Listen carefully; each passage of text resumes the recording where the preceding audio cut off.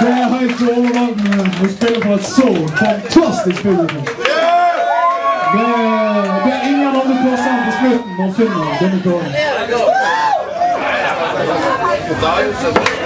Neste låt det er øh, en låt av favorittbandet fra Truls. Og dette er å skille klinten fra hveten. Dette er de som kom punken sin. Blått flagg! Magnus Bristol!